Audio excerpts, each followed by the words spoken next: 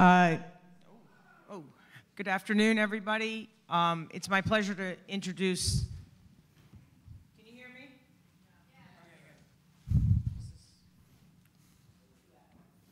Uh, it's my pleasure to introduce Nico Schiff, who is, um, in addition to being an amazingly pioneering uh, neurologist and neuroscientist, is a family friend, and we were just debating uh, between the two of us and, and with Nico's uh, mother, Louise, who is sitting right here, whether Nico and I met at zero, one, or two. We're- We we don't, we don't know. We don't know. But um, one of those. And it's just been so, so much fun for Nico and I to come into neuroscience together. And I um, have been blown away for over 10 years by Nico's really imaginative and revolutionary studies on the uh, consciousness within that does not uh, see, see the light of day or see the light of movement. Um, and what he's going to tell us about today are some really innovative studies um, assessing who's, who's at home in both minimally conscious and, and persistent vegetative states, people with altered states of consciousness. Um, I should give a little bit of background. This is the uh, MacLean Center, this is sponsored by the MacLean Center for Clinical Medi- Medical Ethics and the Grossman Institute for Neuroscience, Quantitative Biology and Human Behavior. That's a mouthful. Uh, This is our third lecture in our series on ethical issues in uh, neuroethics. This series was organized by myself, Mark Siegler, Dan Sulmasy, and John Maunsell.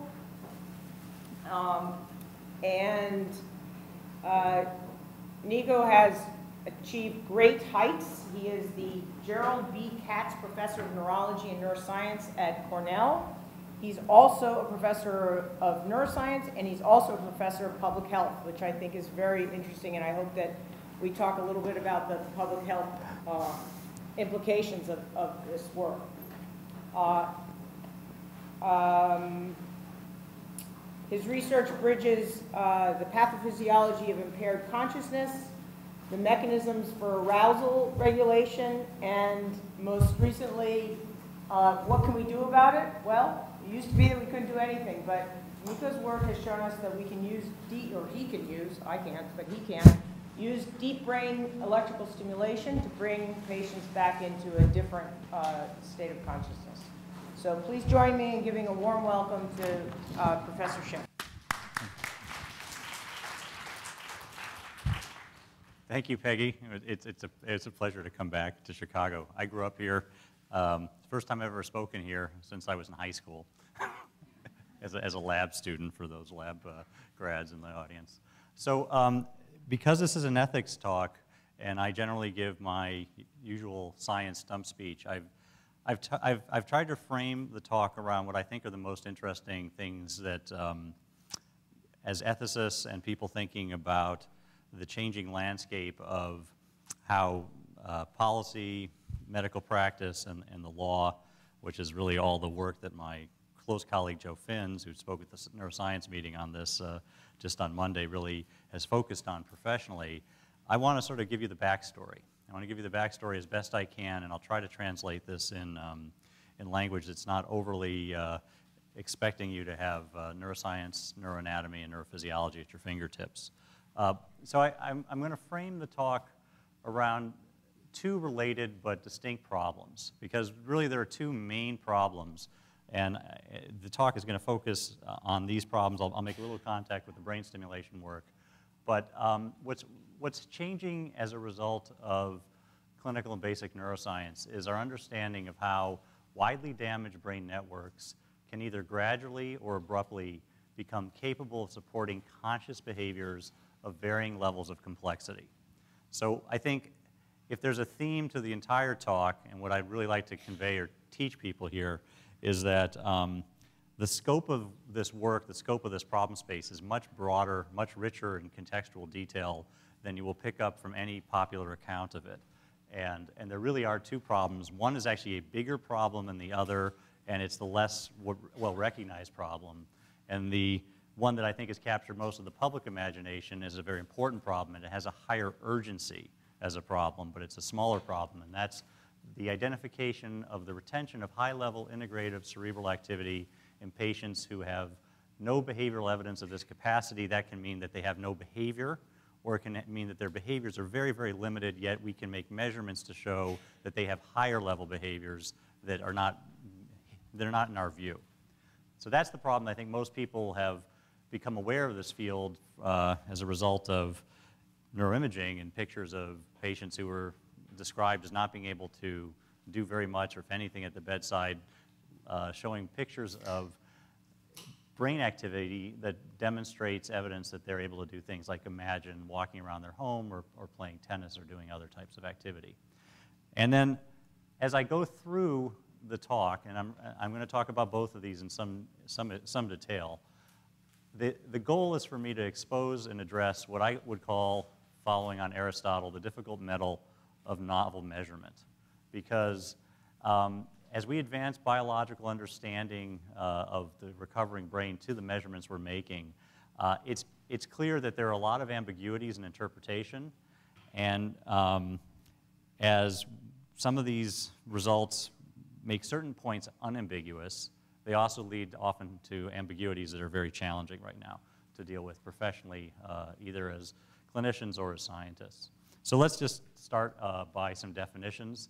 Um, there's a you know, there's, there's an evolution in the last uh, 10 years or so from the old terminology, which was pretty much restricted to coma, persistent vegetative state, which uh, was a, a, term that had a, um, a time component to it. You could be in the vegetative state for 30 days, and then after 30 days, you were in the persistent vegetative state. And really, there weren't any other terms except for death. Uh, severe disability functionally approximating persistent vegetative state more or less was treated as if it was persistent vegetative state. So there was no, there was no category for patients who clearly didn't fulfill vegetative criteria. Vegetative patients only can open their eyes and close them. They don't show any response to their surrounding environment. I'll, I'll go, I'll go through the uh, de details of all this in a minute. But patients who showed a little bit of response were more or less lumped into the category of persistent vegetative state, even though it was understood that they lived somewhere on the lower boundary of severe disability. Over the last 10, 15 years, what's happened is the category of severe disability close to vegetative state has become parcellated into, um, into different components. I'll go over those in a moment. And um, the best way to really organize this is to put it on a two-dimensional grid. So if we have cognitive function here at the uh, uh, top of, if we, if we follow the x-axis from no cognitive function behind this interrupted blue line, to normal cognitive function here at the extreme of the x-axis, and then look at motor function from no motor function below the interrupted orange line, uh, we see that there are a range of conditions where at the bedside, things are indistinguishable. A person could be eyes closed or have eyes open but not move their eyes to command or track, and we wouldn't necessarily know eh, by behavior alone whether they were comatose if their eyes were closed, that we would call them comatose. If they had periods of eye opening and eye closure but didn't have any response to the environment, we would call them in vegetative state. Um, in the next category over, minimally conscious state, we identify by having people be behaviorally within this box between the interrupted yellow and the interrupted uh, orange line. They have inconsistent motor function. Uh, for patients who only can track an object or localize to an auditory input, we now call them MCS minus, but that gives them the first evidence that there's some awareness and registration of sensory input and consciousness. And then if patients can follow a command but cannot use their command following system to consistently communicate accurately, and operationally what this means is answer six out of six questions like, am I pointing to the ceiling with a yes-no response, or am I pointing to the floor, and be accurate. That's, that's the boundary condition that's been set sort of arbitrarily to get out of minimally conscious state. And once you get there, then you, you, you pop up above the yellow line. But below the, the orange line, below the yellow line, there are equivalences, at least at the level of behavioral assessment. They're not necessarily equivalences at the level of assessing brain function. And that's where the story gets more interesting. So as I said, there are really two problems. So the first problem, scientifically, is to understand how patients move in general. Anybody in coma has an, un, has an, has an ambiguous uh, trajectory. They could end up with full recovery. They could settle out somewhere in between. What is the, over, what is the biology of this process? That's been the focus of my lab's work over the last 20 years, and that's really what I think frames all of the issues that we have in front of us. The, the related problem is when we see people who look like they might um, have uh, some responsiveness, we have the, the, the, comparison that there are patients who have very limited motor channels who, if they can control them well enough to establish a communication system, can demonstrate normal consciousness. And that's locked, those are patients in the locked-in state. Uh, and LI, locked-in state is not a disorder of consciousness. There's a related condition, complete locked-in state, which is problematic. So most complete locked-in state patients have been identified in amyotrophic lateral sclerosis from patients who initially could use a brain-computer interface, but then as the disease progressed and the motor beta rhythm that was used typically to trigger the brain-computer interface no longer is present sufficiently to drive the technology, they slip into a state where they don't have any response. Now, being, you know, uh, economical in our thinking and following Morgan's canon or Occam's razor, it would be silly to think that probably that they've just lost consciousness now just because the motor system that was our one toggle to a switch to connect them to the world um, is no longer working. But this has been remained sort of an ambiguous question. There are some studies now using near-infrared uh, uh, techniques that suggest that that capacity is, of course, still there. We just don't know, and in, in that particular disease process, other parts of the brain undergo degenerative changes, so there could be aspects of alteration of consciousness that make it hard to control the brain-computer interface as well. Uh, but it gives you a sense of the ambiguities that may arise, and I'll, I'll pick up on that at the end of the talk. That's, that, that, that's our second point. And of course, when we are looking at patients, we're not looking at pe people who have AL ALS or people who have focal brainstem strokes and uh, have fully intact cerebral function outside of the motor system. We're looking at people with mixed multifocal injuries. So they have both often motor dysfunction plus central nervous system damage. So then they have the combination of issues of state control and perhaps very, very limited motor channels out. And that makes it even more complicated because then we have people who are legitimately motorically impaired, in coma, vegetative state, minimally conscious state, who, because they do not show us through their motor function, start to recover and may end up over here or anywhere in between. So what we need are measurements that help us understand the graduated recovery process, what we measure, what we can correlate with people who can move that show us the transitions in the minimally conscious state patients who have behaviors and in the patients just over who are in what's called the confusional state who can speak, can, can interact, typically can communicate accurately uh, by the minimally conscious criteria, but are not oriented to their personal history or why they've been injured, or, and, and operationally cannot be tested on standard psychometric tests. And then there's a range of patients who can be tested on standard psychometric tests but have impaired cognitive function before uh, recovering to a level where they're within a normative range. And that sort of sets the full boundary conditions from unconsciousness and coma to normal functional recovery. And this is, this is, the, this is the game that we're trying to play, but it's not just restricted to structural brain injuries evolving slowly over time. I think if you think about it,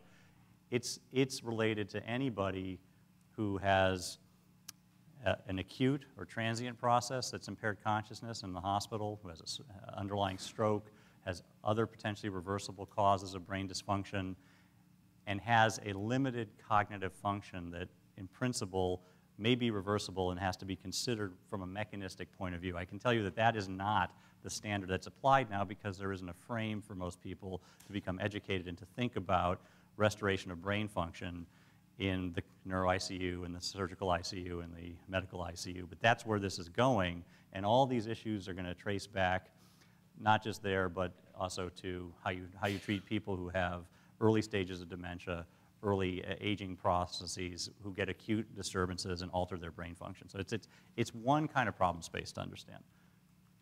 So, but in this problem space, uh, we're mostly looking at patients who are young, who've had traumatic brain injury, and um, there's some things that I think are not well known but are very important to understand sort of just demographically. And one is that even though you can be in the minimally conscious state for a month, it's been known for quite some time that if you follow patients prospectively, at least the patients who are uh, minimally conscious and have had a traumatic brain injury, often most of those patients do well.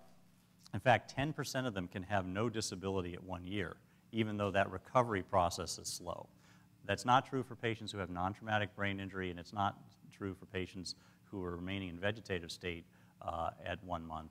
But in general, if you've had a traumatic brain injury, your recovery process over the first year uh, is pretty good if you're in minimally conscious state. On average, most of those people actually do, do much better. Um, if you've remained in minimally conscious state for a full year after a, a severe structural brain injury, you typically don't recover to um, better than uh, severe disability outcomes, but most patients will recover the ability to communicate, interact with their environment. Many of them can go home with assistance and uh, retain executive function. And then, of course, there are the other things that come up in the news that, uh, that draw people's attention. Those are the very, very late recoveries that are reported of comatose or vegetative patients, but invariably are in patients who have met the, met the criteria for minimally conscious state early on in their convalescent period. Nonetheless, uh, this man, Terry Wallis, who's a national uh, figure, and this man, Don Herbert, who's another uh, nationally reported uh, patient, both made very late recoveries from minimally conscious state. Wallis remained in a minimally conscious state for 19 years and started to speak uh, for the first time in over a three-day period recovered full fluent language. We had the chance to study him twice in New York and have written a few papers and have more coming on the changes in his brain function, but he, he, he actually did make this transition and then once he became conscious, uh, started to gain uh, additional functions, including motor functions and cognitive functions, and, and, they had correlates in his central nervous system, both structural and functional correlates. Don Herbert um, was a fireman in New York, and he was injured in a uh, house fire. He was, uh, where the floor collapsed on him. He had a mixed traumatic and anoxic brain injury. And his story is, is, is, very disturbing and not atypical. He started to get better. Within the first few months, he was ambulatory, he was speaking a little bit, he was clearly minimally conscious, and then he just slipped back into a state where he was basically MCS minus. He was, he was labeled as vegetative, but if you examined him carefully, there were signs that he was in minimally conscious state. And he stayed that way for nine years in a nursing facility until one day a guy on rounds came, came around and was looking at the patients. He said, well, gee, you know, why don't we try something? So he put him on a cocktail of L-DOPA, Celexa, and Strattera. So a noradrenergic, serotonergic, reuptake inhibitor, and a, uh, um, a dopaminergic agonist. And one month later, Herbert woke up. And Herbert really woke up. He woke up, and you can read, there's a book about him. I, I actually, we, we tried to study him, and it's a long story I won't get into now, but we didn't actually bring him to Cornell, even though his family was ready to do it. And um, he spent four hours speaking the very first day, and it was all videoed. And his recall, his, his insight, he was, he was heartbroken that he'd left his family for 10 years. And uh, it was, I mean, it's, it's, it was eerie. So the, the harbored capacity was there. So that's really the question we're asking. How, how can this happen? So one thing we do know is that once you get to minimally conscious state, it's going to be about the brain, and the potential for late recovery may be indefinite. Now, these are very obscure late cases, but the rules of the game are going to figure that out, and I think the rules are going to become more apparent. Um, the population story is becoming a little bit uh, more obvious now, too. In a, a, study that was published in 2012, 400 patients, all of whom had very severe brain injury, the lowest level of Glasgow Coma Scale scores uh, at their onset of coma, what they found was virtually 70% regained consciousness. And uh, of those patients, if you track them out, 21% uh, actually regained independent function. And uh, most of those were employable. Uh, the patients were employable by standard disability rating scale criteria. But also, if they, they followed this cohort at one, two, and five year time points, and they continued to improve at each point. So this is the general story. The very severely injured brain, as long as somebody is healthy and doesn't have another intercurrent process, slowly starts to get better. So, so how does that work?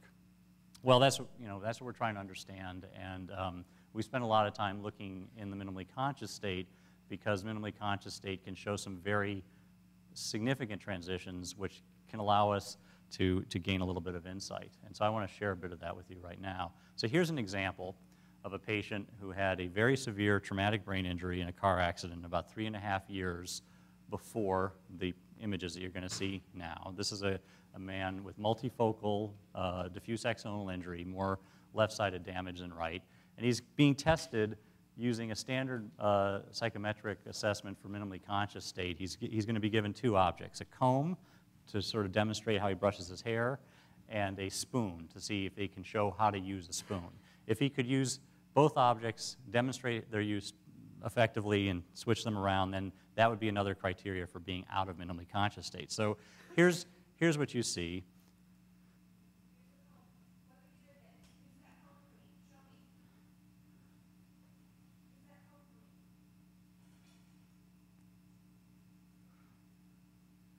So he holds the comb, he takes it. This is actually his dominant arm. It has a resting tremor like a Parkinson's tremor. He can use that arm spontaneously, and it was his dominant arm, but he doesn't use it when, she, when the therapist hands him the objects. He's looking down, his posture is, is stooped over.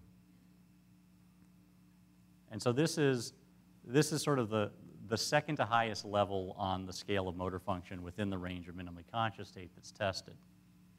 Now, in this particular subject, uh, it was discovered empirically that they paradoxically improved with the use of a sleeping pill, Ambien, which has got the generic name Zolpidem.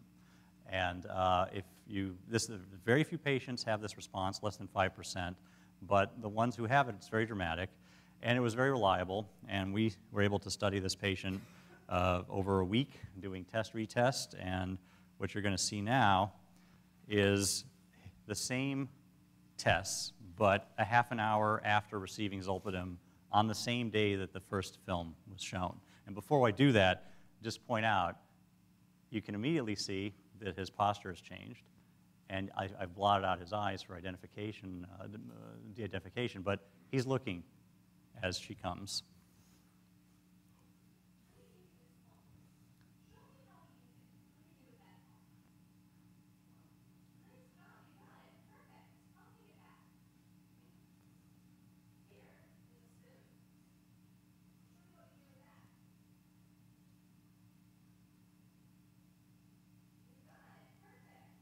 So for the neurologist in the audience, it, yeah, he's using his dominant arm, right?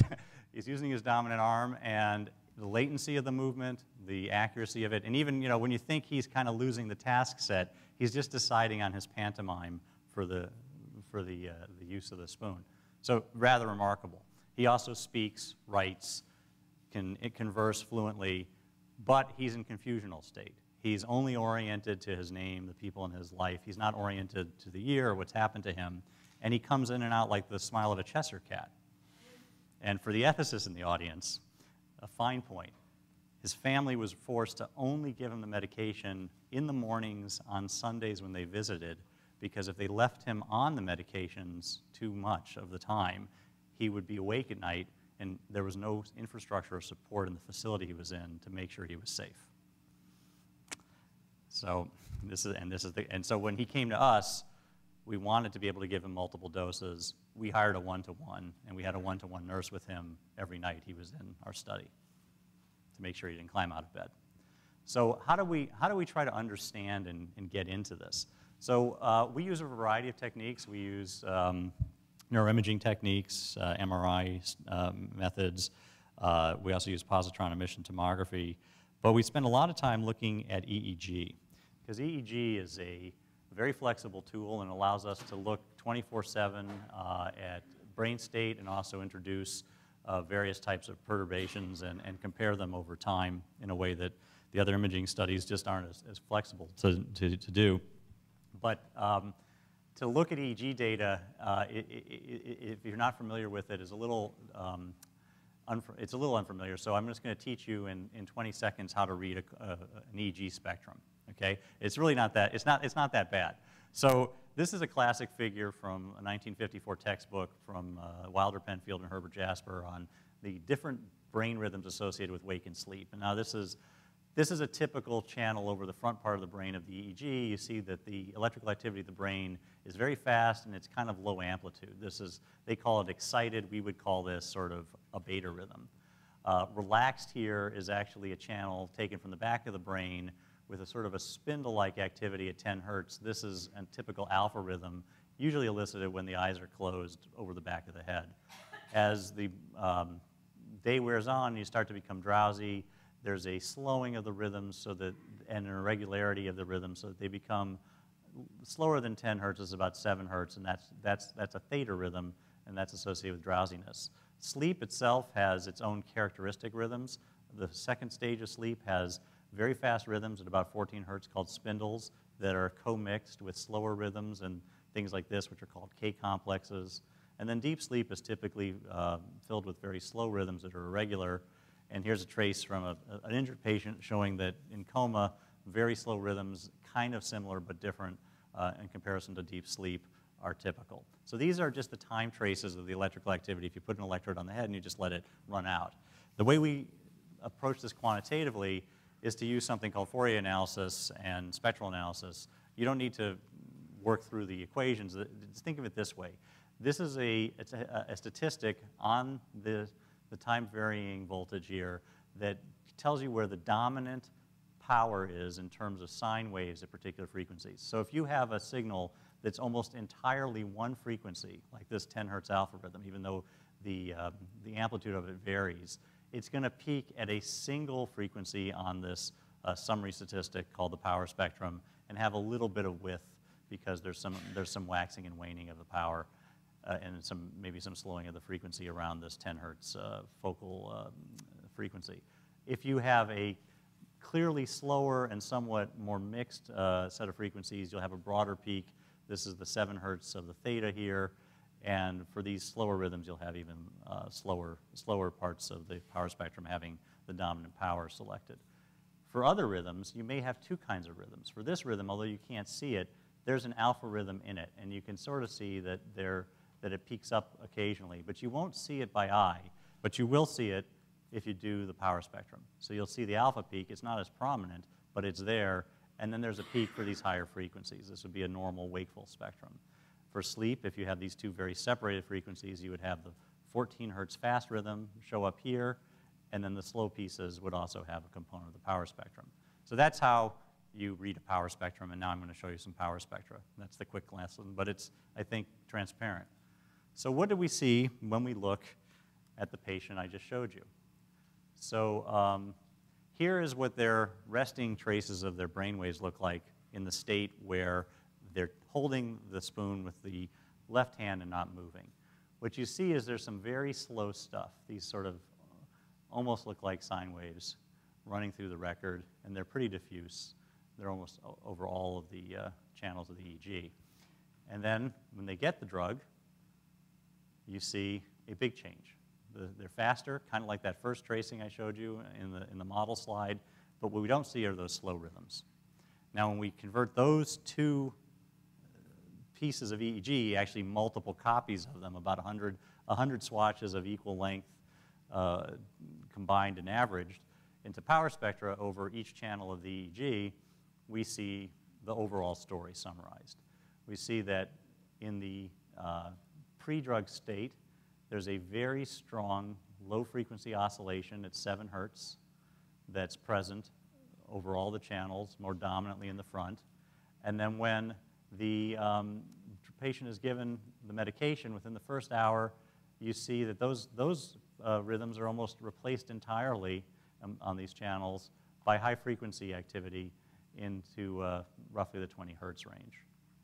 And in fact, uh, if we take the patient I just showed you and compare this patient's uh, profile within channels and across the head to two other zolpidem responsive patients uh, who we studied um, who are in the paper in eLife, if anyone's interested to read it, who had completely different types of brain injury, we see that, that these findings are generalizable, that they're almost generic.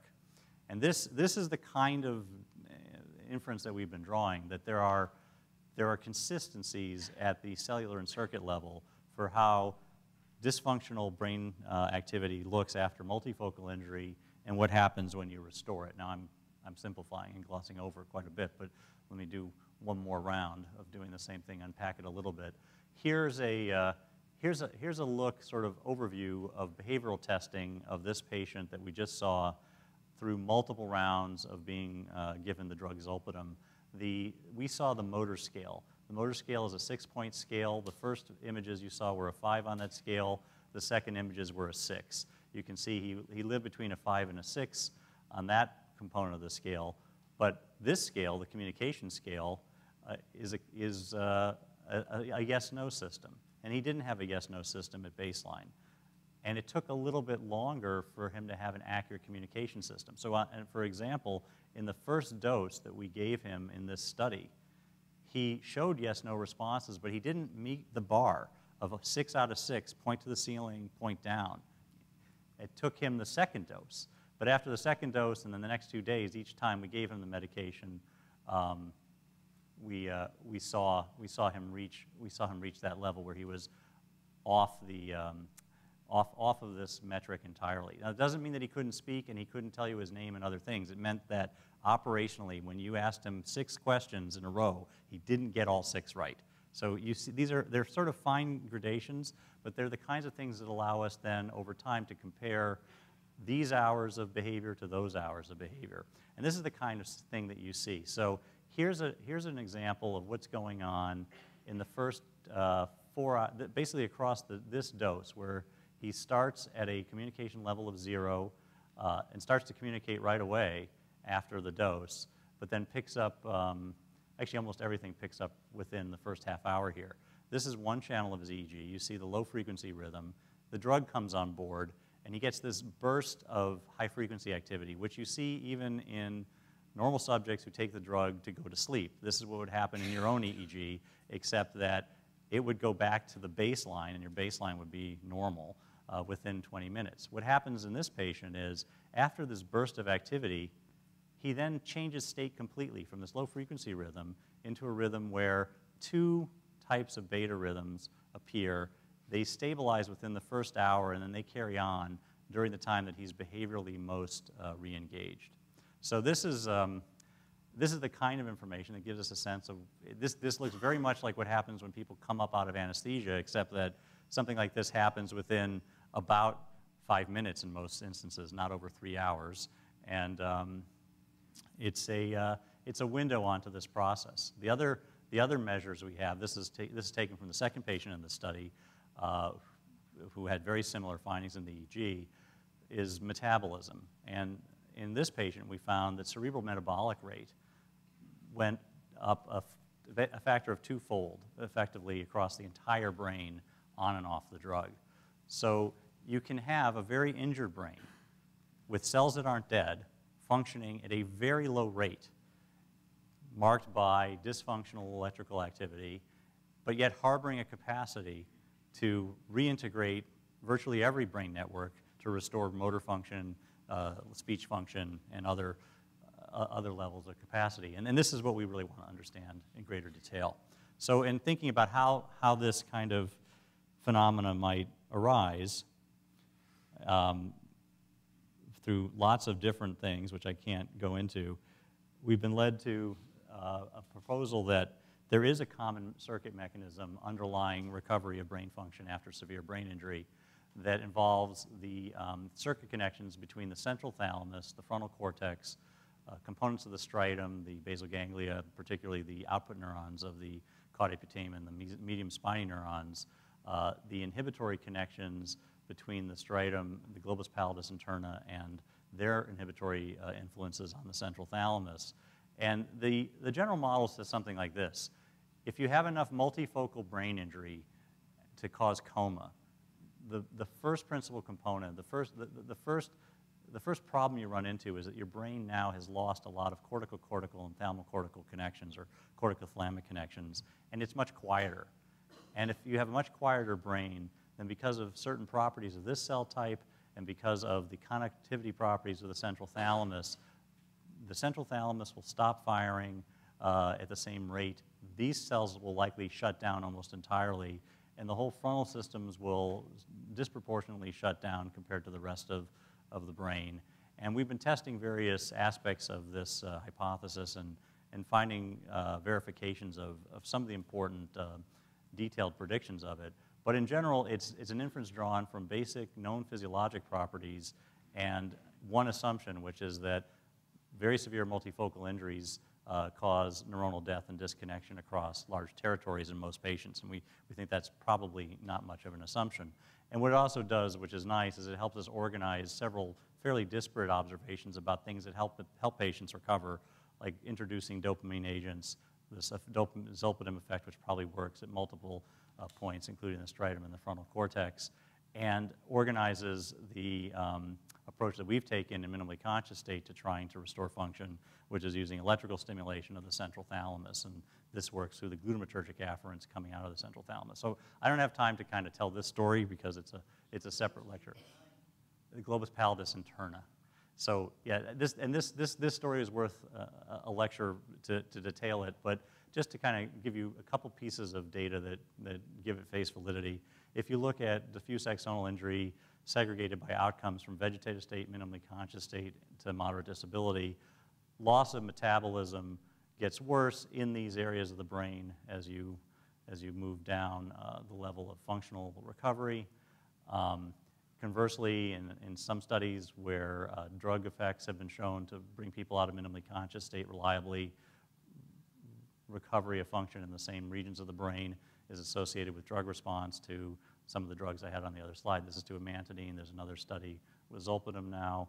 Uh, this, is a, this is a study with zolpidem that was done by uh, yet another group. Are a couple studies now showing that the frontal part of the brain can be uh, restored uh, in, in, and the thalamus with the use of zolpidem, uh, similar to the, to the patients I showed you. And finally, just because I'm going over this quickly, and I'm sorry to kind of rush through this part, there are some other predictions that should be consistent with this idea that have nothing to do with brain injury and really have to do with the general circuit mechanisms that are laid out in terms of the physiologic properties of those neurons. And that is that if you have other contexts in which there are natural reductions in global background synaptic activity, you should see similar stuff. So if, if you look carefully at uh, human sleep studies that were done at the NIH with uh, regional blood flow measurements, it actually turns out, although the authors didn't explain it, they, they identified it, that maximal increases in blood flow in the brain actually occurred in the striatum in the transitions from slow wave sleep to REM or from sleep to wake. And that's consistent with the MSN compartment being shut down in these more inactive states and then having a state transition going uh, forward as, as glutamatergic uh, afferentation uh, reemerges. Something similar happens in the first uh, 20 minutes after sleep in the period called sleep inertia. I'll show you that in a moment. And general anesthesia has stages that in intact normal brains that are quieted by an inhalant or a injectable anesthetic show very strong similarity to this. So briefly, in the first 20 minutes of awakening, uh, blood flow in your brain hasn't normalized. And this is the period of time when you're stumbling over your words, bumping into things, have psychomotor retardation on standard psychometric tests. And when that resolves, blood flow has been restored in the thalamus, medial frontal regions, and the, uh, the rest of the brain. And this is a general finding in healthy volunteers. And then in um, anesthesia, there's a lawful progression of changes that happen as uh, subjects go under general anesthesia. And probably most related to what I showed you in the video is this phenomena called paradoxical excitation, which happens after a period of general quieting and relaxation and sedation, a period of hyperactivity occurs, which we've proposed, uh, Emery Brown, Ralph Lydic, and I, uh, more, more or less mirrors the release of activity through this anterior forebrain mesocircuit. So I think you know, there, there, there's much more to say about this. This wasn't the focus of this, but I want to give you an understanding that there is a way into thinking about how you would study this, make measurements in PET and EEG, and try to falsify a, a hypothesis-driven set of predictions. So now I'm going to turn in the, in the my, end of my talk to the problem of retention of high-level capacity in patients who don't show it at the bedside, because this is increasingly important. And it's going to be a small percentage of the patients, but there's never going to be, I think, an area of more urgency to treat in medicine than what we've discovered here as a field. And Joe Fins just wrote a book on the rights of patients uh, in, this, uh, in, in, this condition and others, I mean, and everybody who is faced with this problem. But these patients and I'm going to try and make the case to you through what this looks like. These patients are underserved, and this is a big deal. And now I think what's different from, say, 10 years ago is 10 years ago we had some examples. Now we're getting to the population data slowly. It's not prospective, you know, true demographics, epidemiology data. It's just enough to say this problem is just big enough that we got to really rethink it.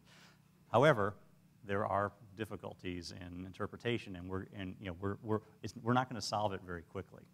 So uh, the first quest, the first issue is, what, what really should we call somebody who shows us that they can do something like imagine playing tennis or uh, walking around their house with an EEG study or an fMRI, but who at the bedside shows no behavior or very little behavior. So there have been proposals um, to call patients uh, minimally conscious with a star. There have been proposals, we've actually in the past considered calling them non-behavioral MCS, uh, proposals to call them functionally locked in. Uh, and there are problems with all of those, but I think that, and, and they can be summarized basically in one sentence. They draw a conclusion about the state of consciousness that you can't demonstrate. So what we really need are operational definitions. So as of Monday, I published this uh, editorial to offer what I think is an operational definition in the label cognitive motor dissociation. And cognitive motor dissociation would be you have an exam that's consistent with coma, vegetative state, or MCS minus at the bedside. So it would include people who could track or show auditory localization. But that fMRI or EEG or some other measure shows that you can follow a command. And to so, so we've dissociated it by the measurement and your bedside exam. But what remains, ambigu- remains completely ambiguous is where are you on this x-axis? You could be somewhere down here, you could be fully conscious. What I'll show you now, and I'm anticipating the conclusions of the last part of the talk, is the weight of evidence is saying you're probably over here to the right. But remember, all these people have structural brain injuries in the central nervous system. So maybe you're over here to the right most of the time. Maybe you're always over here just like a locked in patient who can't move. Perhaps that's not what's going on. Perhaps you come in and out. Perhaps when you're sick, you're down here. You're in some range. And you have two problems. One is that you don't have a communication system, and the other is you don't have a brain that has stable integrative function. Okay, so that's, that, that's, the, that's the nuance on this game. And the other point to make with this slide is some, there's a proposal to call vegetative patients unresponsive wakefulness syndrome. The problem with that is that it's not a mechanistic label and that it really encompasses all of this. So, you know, this, this, these are the, these are the arcana of the nomenclature dispute. But, but to get onto the data, so um, two groups have looked at cohorts of about 50 patients and found about four or five who show cognitive motor dissociation. This is a paper we published last year, looked at, at 44 patients. We had studied um, at Cornell Patients had FDG PET in most instances and uh, fMRI studies to look for command following. We found four examples of patients with uh, command following. I'll point to um, this patient here is going to come up again, and I couldn't find the uh, slide using the other technique to show. So remember, you'll see this man's command following when I mentioned that I showed it to you, but I don't have the slide. These four patients were the only ones in the group who showed fMRI responses, and when compared against the entire group of patients uh, who we had studied using uh, continuous EEG measurements 24-7, three to five day stays, and over 2,200 hours of recording, we found that all of these patients showed very well preserved sleep and wake architecture. That there, and they showed well preserved cerebral metabolic activity. So that if you were following commands, you had sleep spindles, you had a normal or only mildly abnormal awake EEG background, and um, you know the, these, the, the, I'm sorry, background, and the, or you had, and you had well-preserved cerebral metabolic rate. So these studies say you look more like normal subjects. You don't look like the MCS population or the VS population from the point of view of how much energy your brain is using or how well it's organized electrically. You look more like a healthy volunteer. You may not be a healthy volunteer and you may not have a normal state of consciousness until you can initiate a communication system and tell us we don't know, but that ambiguity can be weighted by these data. Similarly, Steven Laureys' group did a very large study comparing PET and fMRI and they found that um, fMRI, which we all know is a very insensitive test, uh, finding people who do high-level uh, motor imagery tasks is sparse in patients who at the bedside show signs of consciousness and minimally conscious state. Uh, but when, they do, when you do find people who do it, FDG PET uh, is always preserved in their study as well, but it's also preserved in patients in minimally conscious state. So these are, again, data saying that the, the, the patients who have all of this are a subset over to the right. And of course, there's going to be a continuum and a spectrum in this population as well. But just to give the clinicians the opportunity to really get this, I, have done this a few times and I, I find it kind of fun. We're going to do a Rorschach test, okay? This is a clinical Rorschach test. This is the last part of the talk. I'm going to show you two of our patients. I'm going to take you through the data, but I'm going to stop and ask some questions before we get to the end. Okay? So, two patients. One is a 22-year-old woman with an idiopathic etiology of occlusion of the basilar artery. This is a stent in her basilar artery. You see she had an extensive injury to the brainstem.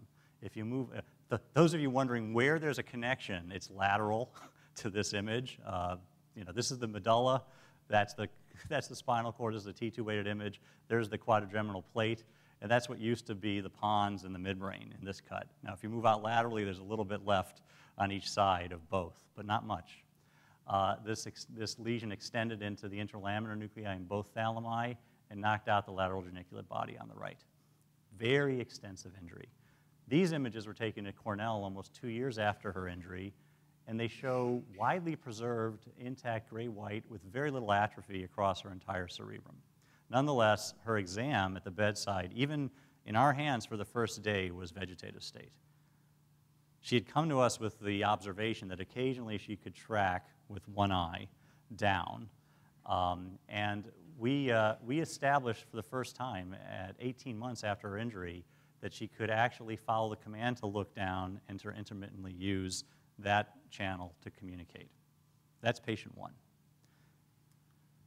Patient two is a man who was in a uh, T-bone motor vehicle accident. His car went into the middle of an intersection, he was hit, spun around, and ended up with diffuse axonal injury, suffering very bad radial diffuse axonal injury, had dilatation of the ventricular system, widespread uh, atrophy, damage, and um, this is actually a good cut of his brainstem. He had a very thin brainstem in most of, uh, most of the sections. So very, very severe traumatic brain injury. Remained in vegetative state for three months, and then his family noted that he had visual fixation at six months. And when he came to us, we saw that he had head movement to command three years after injury. So here are your two, here are your two pieces of data. And honestly, I can tell you that the family had noticed this. They had worked with the therapist. There were some more details I'll share with you later. But most of the doctors and people who had seen the patient had told them, you know, get real. And he came with the label vegetative state in the medical chart that we received. Same, uh, the other woman came with the label vegetative state with the caveat that a very skilled neurologist had made this uh, observation of downward eye movement and was concerned because of the degree of preservation. So both these people came with an understanding that there's an, a question of ambiguity. And, and I'm giving you, you know, the, our first look with the experience of our specialty center. But now, so now, now we have the behavioral and the clinical data. So let's just do a, let's do a tally, just quickly. How many people think that we could establish evidence of command following or communication in either of these patients using an fMRI? A couple people, well, actually a few. Okay, and then how many think that if we could show evidence of either command following or communication, that we could, a systematic communication system could be developed to aid the patient? Most people. And then how many people feel that their answers to this question is, is more than just the impression of an ink blot? Okay, all right, yeah, not too many. All right, so let's, so, you're intrigued to know what the ground truth is, I'm sure, so we'll move on. So we, uh, we set out, and this is the first paper to look at a cohort of patients with the technique of uh, functional magnetic resonance imaging to see whether command following uh, was uniformly present in patients who could or couldn't follow commands, and then if it was present, could they be um, turned into a communication system using a, a, tech, a, a, strategy for using their command following to answer questions. And we looked at six patients. Uh, two of them were studied longitudinally. And what we found in a nutshell was all manners of dissociation. We found people who could communicate at the bedside who couldn't generate these signals, people who could not show command following or communication at the bedside who could, and we found people who could show command following signals but then couldn't turn them into a communication system, and vice versa. So let's look at the two patients that I framed for you. So here, here are group data for our healthy volunteers. This is one of our controls, and it shows the canonical activation in the supplementary motor area for, in our case, imagine yourself swimming, because the woman, who is now a publicly identified figure, her name is Maggie Worthen, who I'm showing you here, uh, and I'll show you her picture at the end of the talk, was a swimmer. And uh, she's the subject of Joe Fins's book that's just come out. And she was able to um, do this task perfectly. In fact, these data, which are taken from one of the areas outside of the canonical region of interest, which is always present when you do this task, it's just that other groups tend to mask the other activations in the brain. So this is whole brain data. So you can see that you know, it's not just this area that activates, it's other areas. And sometimes the other areas are actually better. This, this is as good, if not better, than any of our normal subjects in terms of a reporting region of interest. So she could do this uh, command following task very well. Um, I don't have the slide from the other subject because I couldn't pull it off my dongle and get it into the talk, and I didn't realize it wasn't in here until I got to Chicago and looked at it. But um, I showed you his command following responses in the other paper a few slides back when I said, remember I'm showing you one. So they both showed command following. Now, interestingly, that patient could not do what I'm about to show you she could do. The next test was communication. So we set up a communication paradigm that was a little less complicated than others in that we only had the one response, imagine yourself swimming, and we used it in a multiple choice framework so that the time structure of when it arose would be the, the um, reporting information as to when the signal was being generated in, in, in response to the question. So we showed uh, healthy volunteers playing cards. A Confederate would show them the card. We then went into the MRI machine, and the person who analyzed the data knew nothing about the card. And we found that 100% of the time, healthy volunteers, unsurprisingly, like in all these tests, could signal accurately the card using the supplementary motor area as the reporting region of interest and tell us that uh, their card, in this case, was the ace of diamonds. So when we went to the woman named Maggie who had the brainstem injury and asked her to report to us her card, which was the ace of spades, we got this result, which was different. I, I may, for those, those who notice that there are two areas that seem active here, note that this is the reporting area and it's deactivated here, uh, not activated. This is only one response. But in Maggie, we actually got two responses, one for club and one for ace that were in this region of interest and then one unambiguous response for the face, but it was wrong. It was Jack. And we struggled with this because she could do the command following so well, that signal was great, and we weren't sure what was going on. But we did know that she had these injuries to the central part of the thalamus, which in patients who don't have brainstem injuries and have these injuries alone tends to slow their responses. So they can delay for 20 or 30 seconds in a motor response. So we thought, well, maybe there's a delay. And maybe what's going on, and this is why these, these are going to be difficult measurements, right? This is the difficult measure, middle of this, because now we've got structural brain injury. We don't just have somebody who's locked in with a brainstem injury. We have somebody who has a brainstem injury and has thalamic injuries, or striatal injuries, or multifocal injuries, right? So what happens? Well, we looked at this, and, and, and we realized that in our healthy volunteers, there was this very smooth uh, blood oxygenated oxygen level dependent uh, signal that kind of went up and then just went down. But in all of our study patients, and this was reported by our colleagues in uh, Cambridge University too, there were sort of these biphasic responses. And we were always serially ordering our presentations so that club always followed spade and um, jack always followed ace. So it wasn't impossible that that was what was going on. And it took a very clever graduate student, John Bardin, uh, who did his PhD with me, to come up with a strategy, which is to use multivariate pattern classification, which is a technique, is an algorithm that can model the full whole head MRI signal. And he took the command following data that were so un- unambiguous from this patient as the model.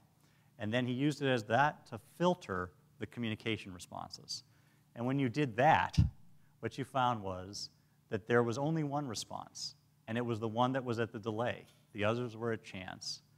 And it was at just the same criterion of classifier performance as the one that was unambiguous in the other run. And so we had pretty good evidence that she was one off in two separate runs. And recognize that these three experiments, do the command, do each of these, take 40 minutes of time for this person in a scanner. Okay, so this is like a lot. Uh, so we think that she was delayed and she, she was trying to communicate. But the other patient who had the command following response did not communicate. We tried, and we tried this this trick, and it didn't work. It wasn't in the data. So, by show of hands, what do you think the clinical outcome was in these two subjects? You get to choose one. So I'll read the choices and then we can vote. Choice one is neither patient established reliable communication using augmentative communication systems. Choice two is patient A, the brainstem stroke, but not patient B, the diffuse axonal injury patient, established reliable communication using augmentative communication systems. Choice three, patient B, but not patient A, so the DAI patient, but not the brainstem stroke patient, established reliable communication using augmentative communication. Or choice four, both established reliable communication. Uh, so, uh, who wants to vote for neither of them established communication? one person. Who wants to vote for patient A but not patient B? Majority. Who wants to vote for patient B but not patient A? No takers. And who wants to vote for four? Few. Okay, so this is how it works every time. And I've shown this. I, I went to the Boston uh, Neurological uh, Society and they did the same thing. The answer is three. The answer is three. Okay? The answer is three. Because these tools, you know, without a so what next step, don't take us to what we might be able to do. I'm sure we could have done something for the woman with brainstem stroke with other technologies that we saw evolving this week at the neuroscience meeting, but we couldn't do it with standard technologies like putting a mouse on the patient's head, which is what our medical student who went on to be a neurology resident did for patient B. And he turned it into a very effective brain computer interface system. That's him uh, five years later from our first studies. And this is the email he sent us when we invited him to come back because we wanted to see how he was doing. He said, Hello, going sounds really good because I can show you what I can do now, which included writing a book showing interest in going to culinary school, kicking us out of the room repeatedly so he could have an hour to email his friends during the study. And interestingly, over about three years of working with the head mouse, he transferred to being able to use a thumb so he could use a joystick. So, you know, this, the, the point here is the following. Only when patients can get to the point where they can initiate communication can we probe their quality of consciousness and their subjective experience. Okay? But we can all agree that our expectation was that this guy's likelihood of harboring that quality of experience was much less than the woman's based on those images, which probably means that her quality of experience might exceed his, but not that he didn't have one. But we don't know how to do, deal with that yet, okay? And, and to date, no study has really shown that if you have a patient who is meeting VS or MCS criterion and has these communication or command following uh, findings, that they get to consistent uh, BCI. Now, there will be patients like that, but they'll be closer to normal. And the question is, how do we deal with everybody? And that's really the next step. Uh, and finally, this is the last thing. This is to show you how far we got with the woman. Unfortunately, she died uh, this summer, and we were hoping that she would be the first participant in a new study that we're hoping to be able to do for patients like this. But we had hooked her up with the um, Speak Your Mind Foundation, which is a group in Boston that's the nonprofit associated with the BrainGate uh, people. And this is Dan Bacher. I didn't put the website here. I should have. It's called Speak Your Mind if anybody wants to look it up on the web. And Dan's an engineer at Brown, and he works in both the BrainGate and the Speak Your Mind Foundation. He created a $14 solution with some very, very expensive high-end training as a software engineer to use a CCD camera that meticulously captures the eye of this patient. And this is, after a few training sessions over about seven weeks, her ability now to harness the downward eye movement to rapid command. Oops, sorry.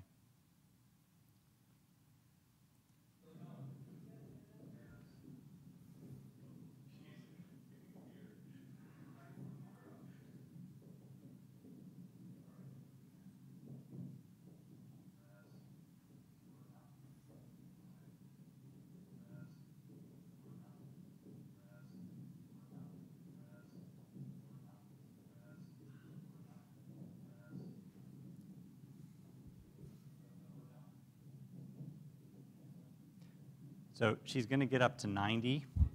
This is the end of a 30-minute, se- a, th- a three-minute, three-minute session.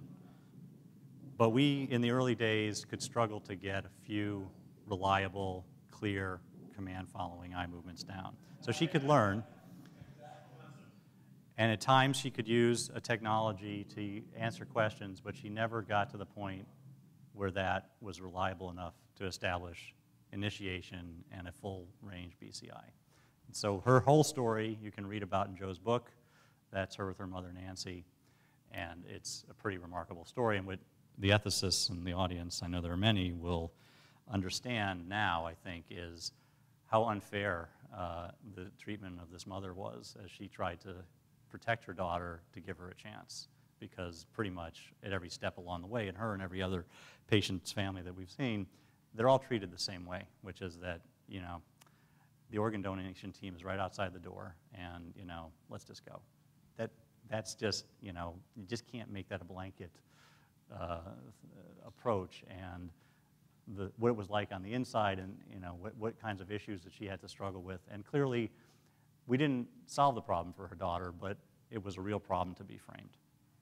So it's complicated. I don't you know, suggest that there are any easy answers here, but that's, that's the frame of all this work. So just to conclude, available evidence supports that patient subjects who show imaging or electrophysiology evidence of motor imagery and communication probably are in a separate category, and they're likely to be closer to locked in. But as you work through the uh, data and try to understand how our measurements relate to mechanisms underlying recovery of consciousness, there are going to be problems in interpretation. It's going to really rely on the biology. And this is going to be a much more complicated area to fill out than, say, cardiology was. Um, just, you know, for cl the clinicians in the audience, there are some very positive points. One is that both FDG PET and standard time domain EEG measures, you know, which are normalized for general population use, are probably very useful in this population because they're well validated and they're widely available.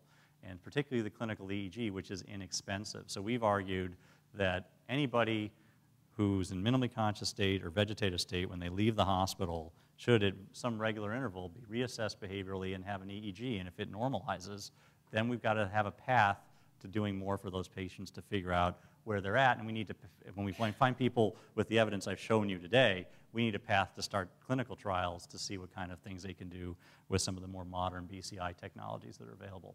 So I'd just like to thank the people in my lab, um, Joe Fins, my close colleague who probably got if, if, Peggy wasn't going to invite me here, then this is why I would have been here. but, uh, my, uh, my other colleagues at the Imaging Center, our, our, our, mentor, Fred Plum, who really started us all in this direction, and a, you know, a group of international collaborators who uh, are working together to try to you know, meet some of the goals that I've suggested to you need to be met, and our funding uh, agencies. And that, that's it. Thank you.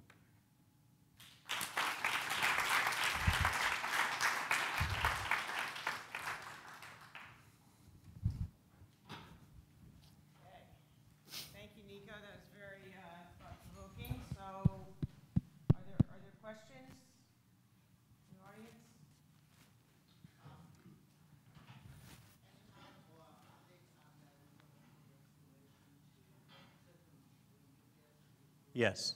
So we got through three patients in our first clinical study, one of whom was the unambiguous responder. We published the paper in Nature in 2007.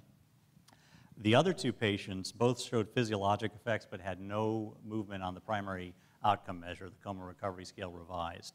One of the patients, uh, interestingly, recovered executive motor control within the, the you know, the, the, first stimulation of the, uh, the thalamus on one side held it for the first couple days, but had a very disorganized thalamic uh, electrophysiology pattern on both sides because of large brainstem deafferentation. And when we turned it off for 60 days and brought it back on, that patient had lost that effect, and so he, he did not show a change in the trial.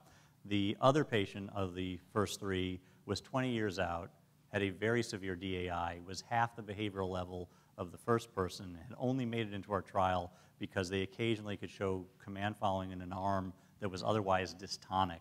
That person showed no effect at the level of behavior on DBS, but we continue to track that person, and we reported last year at the Society for Neuroscience meeting, we'll have a paper out on that, on that subject, that they actually normalized the electrophysiology of sleep, which is interesting because the electrodes were off during the sleep period. They were only on a 12-hour duty cycle. So there were clearly effects of afferent stimulation in that patient across the corticothalamic system. It's a complicated story in terms of, you know, his clinical exam, but there were signs that he was a little bit more responsive, but he was a, a, a trial failure. So those were the three that we got through. Um, for minimally conscious state, we have been stymied by a lack of interest in funding a phase two study so we can get criteria established. I mean, clearly, it's the patient who responded and got better is not the only minimally conscious patient in the world who could be helped in the way he was helped. Right now, unfortunately, he is because there's not a lot of enthusiasm to go after solving that problem. That's the downside, the positive news. Um, we've made huge progress in understanding the circuit mechanisms underlying recovery in MCS. I showed you a little bit of that with the zolpidem. Uh, there's a paper on positron emission tomography showing the change in central thalamus, GPI, and frontal cortex that we predicted. Um, between EEG and PET criteria, I think we can come up with selection criteria for patients who might harbor reserve to do the DBS. Um, we've had big advances in the preclinical work in that area. So we've had, we have two papers coming out hopefully soon, one using optogenetics in rodents from a group at Stanford, the other uh, primate study characterizing the actual target in the intact primate brain. We have a very good idea of where that is and how, the, how that works um, and which cells are contributing the, the, the, bulk of the variants.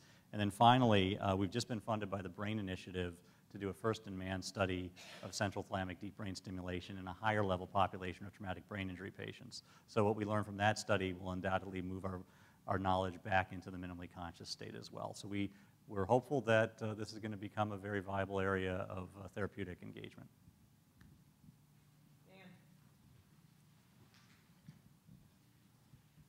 There's a, a, first of all, thanks for a very, um, very stimulating uh, lecture. Um, I, um, I'm reminded of a, a, famous philosophical essay called "What's It Like to Be a Bat?" Tom Nagel. Um, right, right. Yeah. Um, and there's the question that I'm asking is, what's it like to be in the minimally conscious state? Right. Um, you at least have the advantage over the problem of the reading the mind of the bat is that you have a few people who have awakened from that. And I wonder, you know, whether it's totally dysphoric to be so unable to communicate and yet aware of what's going on? Or is it um, uh, a state that's characterized by constant urge to communicate and hopefulness?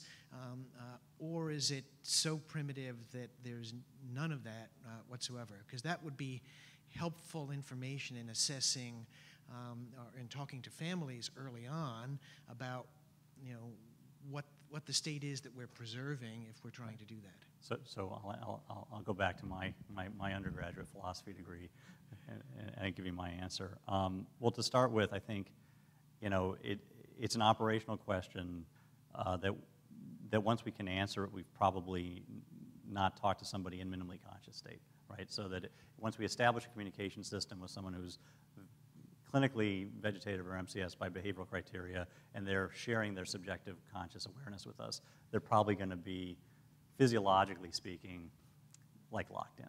You know, we may find they have memory problems. We, there, there's more under the hood here. We have some examples of people who have communication systems who show us that they have evidence of anterograde amnesia, for example. So, you know, they're, they're there, they're answering autobiographical questions, but they're not answering forward questions in time well. So, you know, there's everything in between. I think from just a philosophical point of view, I would take, I would take, I would take the question this way, which is that any capacity to be dysphoric has to, in, in, principle, be containing the capacity to be euphoric.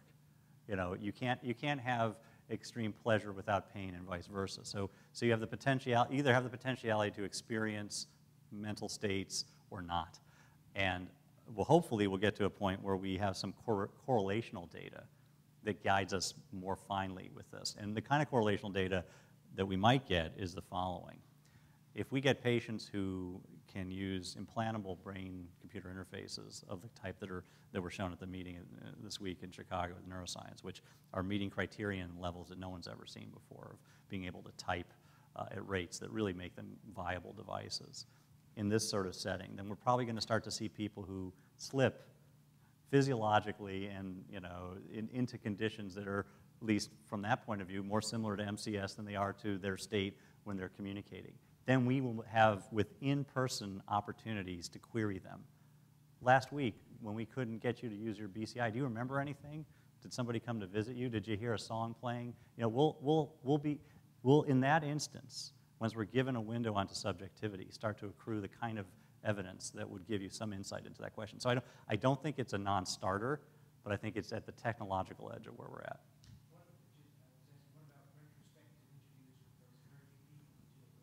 There are a few pieces of data like that, but you can't generalize them, and, and, and it's hard to know exactly where they were at. So are they representative of a minimally conscious state, or are they representative of somebody who couldn't move and wasn't recognized to have a higher level of function? In other words, it, you, the question you really want to guide families is something that's contingent and lawful about parameters that, that consistently associate with minimally conscious state and aspects of subjective awareness. We don't have that yet, not even close. But, but uh, what I'm suggesting is, in principle, that's not opaque indefinitely.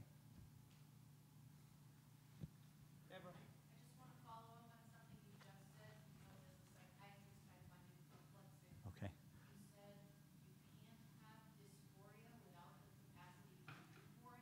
I'm saying you, you, well, I guess what I'm saying is that we shouldn't assume that you could only experience negative emotions. And if, that's what, what I'm trying to say is that if you have a brain that's capable of truly experiencing dysphoria, we, I don't think there's any neuroscientific explanation, foundation to believe that, in principle, you couldn't experience other affective states. In other words, I, I don't know of a model that suggests that a human brain, in principle, could be restricted to experiencing only one affective state. Not that you couldn't be dysphoric all the time or be trapped in dysphoria, but that the wetware per se, you know, was conditioned to be experiencing one affective state, and particularly that if we found evidence that that was typically more the case than not, to attribute it to the class of patients. I mean, actually, let me be much, much more specific, because there is a way to condition this expectation, which is the, the data from locked-in patients, which does exist in, in the aggregate, in tabulational form, from multiple groups, where just those kinds of Likert scale questions are asked about quality of life, how they feel about their condition, where they're at. And the surprise in that data is that they all feel the same way that the average person in this room does, like things are okay. The one difference in that cohort is their willingness to sign a DNR order. They have the lowest willingness to sign a DNR order. Less than 5% will sign a DNR because they're afraid that people will just let them go. And there have been patients in locked-in state who've been resuscitated, come out, and still won't sign their DNR order. So I guess, you know, I guess part of what you're hearing and what I'm saying is um, not to slip into the assumption that from our point of view, this would be a horribly dysphoric, you know, we'd never trade our life for that. That doesn't give us insight into what it's like to be them, just like we don't know what it's like to be a bat. That's, that, I think, is a more complete answer. Joey? Um I I'm very curious about uh the patients, the subpopulation who had these dramatic responses to things like zolpidem you mentioned. Uh these are uh treatments which have a similarly rapid psychomotor response for the state of catatonia. Yes. And I'm curious about what you think of the relation of catatonia to those symptoms. I think they're very related mechanistically. In fact, this is kind of, uh, this has come up, there's a guy at Stony Brook, Max Fink, and I have talked about this. He's written a big book on catatonia. Um, you know, what's probably going on, I, I, didn't make the connection, and I could have, um, I just, I dropped in the talk, this paradoxical excitation phenomena that you see in anesthesia.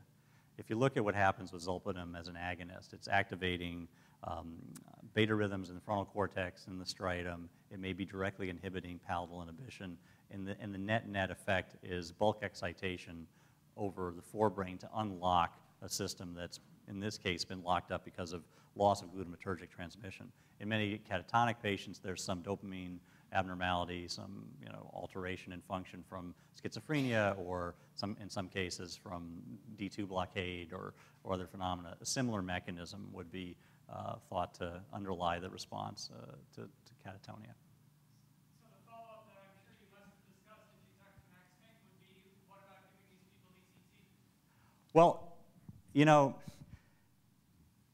I guess um, most people are not excited about generalized, inducing generalized seizures in structurally injured brains because you may get runaway excitation. So, you know, and, and many of these patients do have underlying at least focal uh, epilepsies and things like that here and there. So, you know, on average, th- that's one of the reasons why not. But the other reason is a much more subtle reason. And I can direct you to a reference, which you may know or may not know. You know the paper by Burruss and Chacko, 1999? So it's in the Journal of, I think, uh, Neuropsychiatry. And it's a great reference because it actually, it actually, it, it, it's one case, but I think, I think the general point is the same. Um, ECT will upregulate gene expression the first couple times it's used and then chronically downregulate it. So these guys found actually a catatonic patient with structural uh, injuries after stroke in the basal ganglia and the thalamus following a subarachnoid hemorrhage, who had remained akinetic mute for 18 months. And then he had a generalized seizure and um, started speaking for the first time, just like the fireman. And there are other cases like this in literature. And the, the wife noticed this. She brought the patient to doctors and happened again. So they decided to do ECT. And it worked the first two times. And then it stopped working. So, yes and no, probably.